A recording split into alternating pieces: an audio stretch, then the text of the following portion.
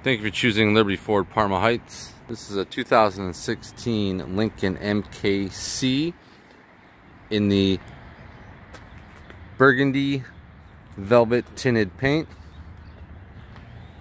Comes with black leather interior, power driver and passenger seats, dual climate control, remote start, and it has the four cylinder turbocharged engine. Once again, thank you for visiting us here at Liberty Ford, Parma Heights.